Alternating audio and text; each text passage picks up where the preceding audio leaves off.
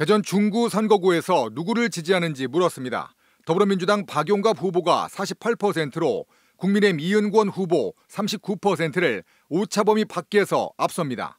지지 여부와 상관없이 어느 후보가 당선 가능성이 높다고 생각하느냐는 질문에도 10%포인트 차로 박 후보가 앞섰는데 적극 투표층에서는 격차가 오차 범위 안으로 줄었습니다. 세 후보가 경쟁하는 대덕구에서는 민주당 박정현 47%로 국민의힘 박경호 31%, 새로운 미래 박영순 7%를 크게 앞섰고 당선 가능성과 적극 투표층 모두 박정현 후보가 오차 범위 밖 우세입니다. 민주당 후보가 빠진 세종갑은 민주당을 탈당해 새로운 미래에서 출마한 김종민 후보가 46%로 30% 지지율인 국민의힘 류재화 후보를 앞섭니다. 당선 가능성과 적극 투표층 역시 오차 범위를 넘어 비슷한 차이를 보였습니다. 아산 갑은 민주당 복귀왕 50%, 국민의힘 김영석 37%로 복 후보가 앞섰고 당선 가능성은 격차가 24%포인트로 더 벌어졌는데 적극 투표층에서는 1, 2위 격차가 11%포인트로 줄었습니다. 홍성 예산은 국민의힘 강승규 후보가 52%로 민주당 양승조 후보를 오차 범위 밖에서 앞섰는데 2주 전 접전 양상과 비교하면 보수층이 결집하는 모습입니다. 당선 가능성은 격차가 더 벌어졌고 적극 투표층 역시 두 후보가 17%포인트 차로 나타났습니다. 윤석열 대통령의 국정 운영 평가에 대해서는 세종갑의 부정평가가 71%로 가장 높은 가운데 대전 중구와 대덕구, 아산 갑의 부정평가가 50%대로 나타났고 홍성 예산만 긍정과 부정평가가 오차범위 안에서 팽팽했습니다. 이번 선거에서 반드시 투표할 것이란 응답은 80% 안팎으로 높았고 청장년층은 야당을 60대 이상은 여당 후보를 선택하는 등 선거가 다가오면서 전통적인 지지세 양분 현상이 뚜렷해지고 있습니다. MBC 뉴스 조형찬입니다. 4년 전 총선 개표에서 다음 날 새벽까지 접전이 벌어졌습니다. 결과는 전국 최소 득표차의 신승, 무소속으로 출마한 윤상현 후보가 승리했습니다. 심지어 불과 171표 차이로 승부가 갈린 지역구도 있습니다. 이번 총선에선 5선에 도전하는 현역 의원 국민의힘 윤상현 후보와 정권 심판을 내건 더불어민주당 남영희 후보가 재대결합니다. 윤상현 후보는 지난번엔 보수 계열 후보와 함께 치러진 3자 구도 속에 무소속 출마로 어려움을 겪었지만 이번엔 정부 여당의 이 지역 사선 경력의 현역 의원으로 5선을 노리고 있습니다. 지금은 후보자 경쟁력이 정권 심판론에 매몰된 상황이지만 누가 준비되고 검증된 일꾼인지 잘 알고 계십니다. 미추홀구의 발전을 위한 가장 확실한 선택 윤상현 해주시라 믿습니다. 민주당은 당의 정책연구기관인 민주연구원 부원장을 지낸 남영희 후보를 공천했습니다. 확실한 선수 교체를 통해 윤석열 정부 심판을 보여달라고 호소하고 있습니다. 무능하고 무책임하고 무도한 윤석열 정권에 대한 심판 선거이고요. 16년 동안 일꾼 한 명에게 일을 맡겼는데 크게 변한 게 없다라고 생각하시는 분들이 더 많은 것 같거든요. 그러면 새로운 일꾼으로 바꿔달라. 이번 총선에서 어느 후보에게 투표하겠냐는 물음에 대한 응답은 국민의힘 윤상현 후보가 48%, 더불어민주당 남영희 후보 43%였습니다.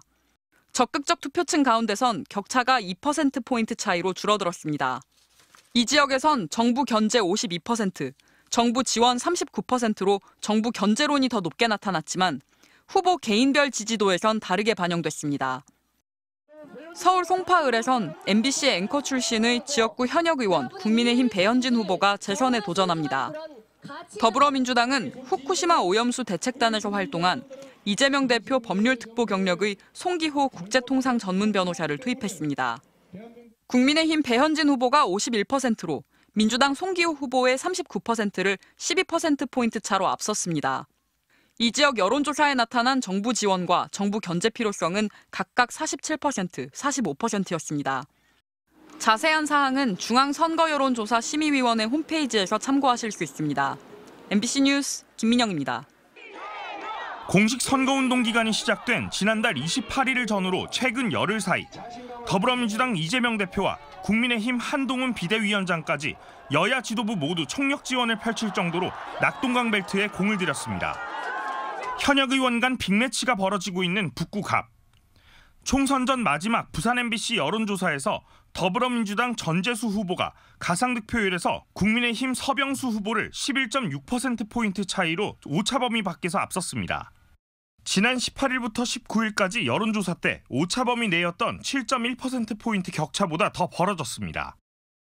2주 전 여론조사에서 가상 득표율이 불과 오차범위 내 0.3%포인트 차이로 후보 간 격차가 가장 적었던 사상구에선 더불어민주당 배재정 후보 39.7%, 국민의힘 김대식 후보가 54.1%로 이번에는 오차 범위 밖 14.4%포인트 차이를 보이며 격차가 더 나타났습니다.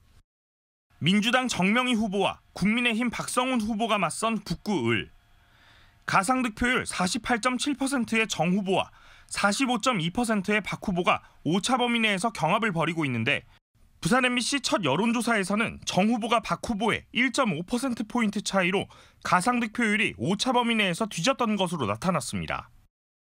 강서구도 민주당 변성환 후보가 47.6%, 국민의힘 김도읍 후보가 46.3%의 가상 득표율을 기록하며 오차 범위 내에서 경합을 벌이고 있습니다. 2주 전 여론조사에선 변 후보가 김 후보의 오차 범위 내에서 가상 득표율이 4.3%포인트 낮았습니다. 북구, 을과 강서구 이 두 곳은 가상 득표율 결과와 달리 당선 가능성을 묻는 질문엔 북구, 을이 오차 범위 내에서 강서구가 오차 범위 밖에서 국민의힘 후보의 당선 가능성이 높다는 응답이 많았습니다. 현역 국회의원이자 전직 경남도지사 간 맞대결이 성사된 양산 대해선 부산 MBC가 이번에 처음 여론조사를 실시했습니다. 더불어민주당 김두관 후보가 49.5%, 국민의힘 김태호 후보가 43.6%의 가상 득표율을 기록해 오차 범위 내에서 경합을 벌이고 있습니다. 이번 여론조사는 부산 MBC와 부산일보가 지난 1일과 2일 한국사회 여론연구소에 의뢰해 실시됐으며 자세한 내용은 중앙선거 여론조사 심의위원회 홈페이지에서 확인할 수 있습니다. MBC 뉴스 리잼입니다. 보수 텃밭으로 불리는 수영구. 이번 총선에서 3파전 구도 속에 치열한 선거전이 이어지고 있습니다. 장해찬 후보의 막말 논란에 따른 공천 취소 등으로 전국적인 관심을 받았던 곳인데 판세가 요동치고 있습니다. 내일이 투표일이라면 누구에게 투표하겠냐는 질문에 더불어민주당 유동철 후보가 35.8%, 국민의힘 정현우 후보 31.1%, 무소속 장해찬 후보가 28.2%로 나타났습니다. 유 후보와 장 후보 간 사이 7.6%포인트, 3명 모두 오차 내 접전입니다. 장 후보의 막말 논란이 불거지기 전 수영구에서 양자 대결이 치러지던 당시 부산 MBC와 부산일보가 지난달 8일부터 이틀 동안 실시한 1차 여론조사에서는 장 후보가 54.2%로 유 후보보다 무려 23.3%포인트 차이로 우세를 보였던 것과 비교하면 상황이 크게 달라졌습니다.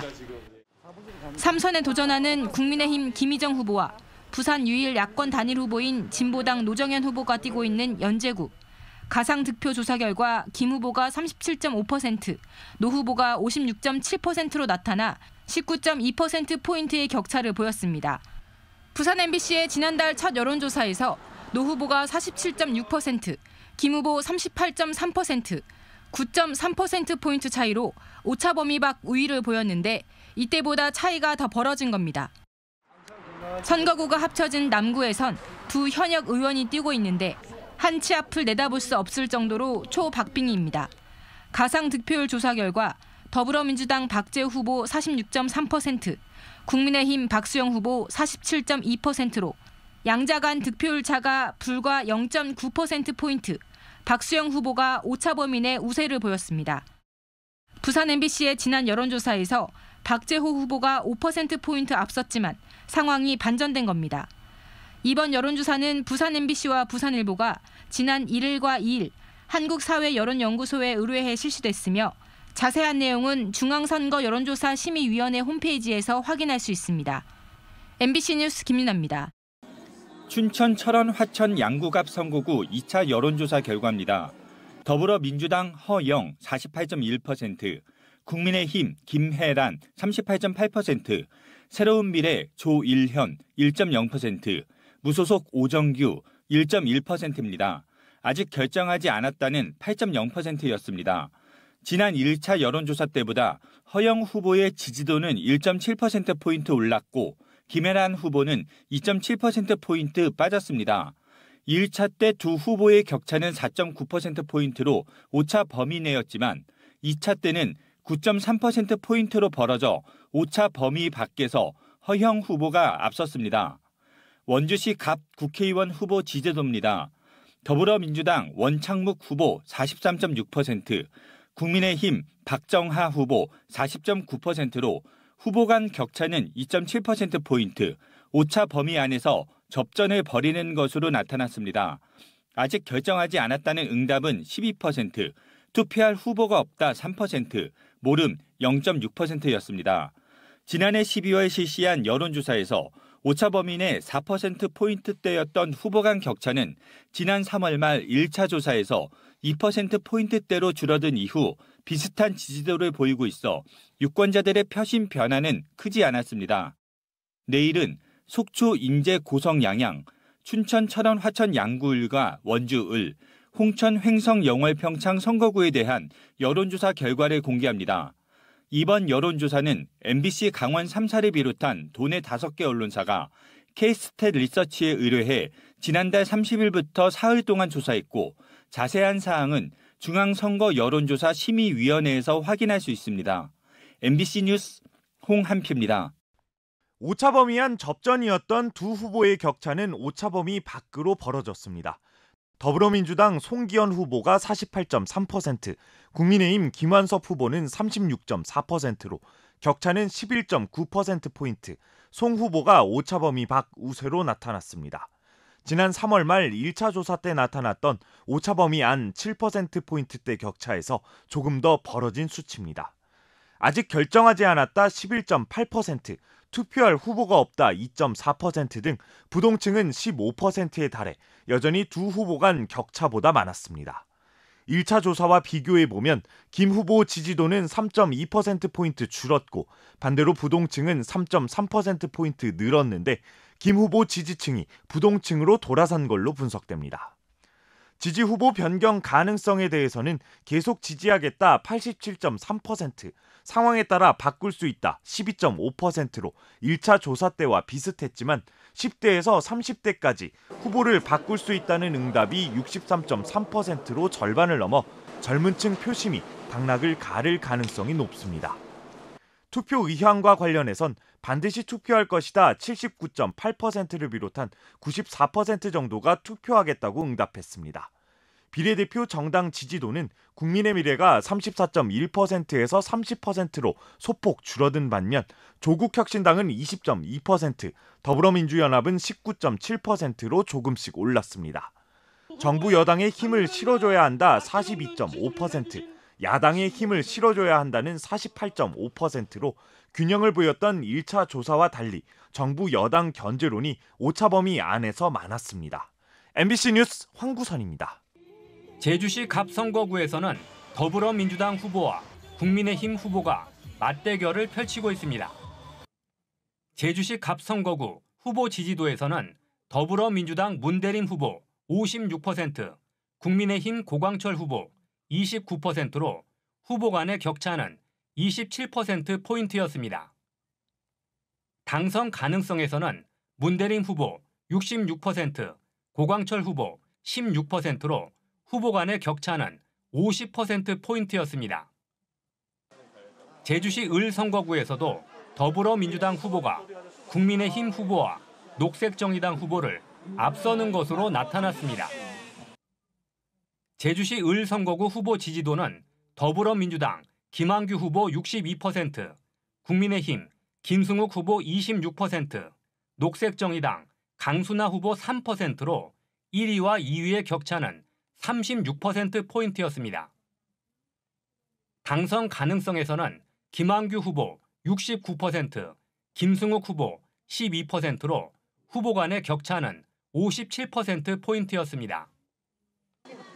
서귀포시 선거구에서도 더불어민주당 후보가 앞섰지만 국민의힘 후보와의 격차는 제주시 지역보다 작았습니다. 서귀포시 선거구 후보 지지도는 더불어민주당 위성곤 후보 51%, 국민의힘 고기철 후보 41%로 후보 간의 격차는 10%포인트였습니다. 적극적 투표층에서는 위성권 후보 53%, 고기철 후보 44%로 후보 간의 격차는 9%포인트였습니다. 더불어민주당 위성권 후보는 30대와 40대 화이트 칼라 종사자에서 지지도가 높은 것으로 나타났습니다.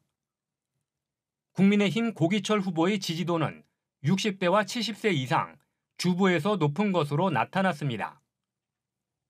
당선 가능성에서는 위성곤 후보 57%, 고기철 후보 24%로 후보 간의 격차는 33%포인트였습니다.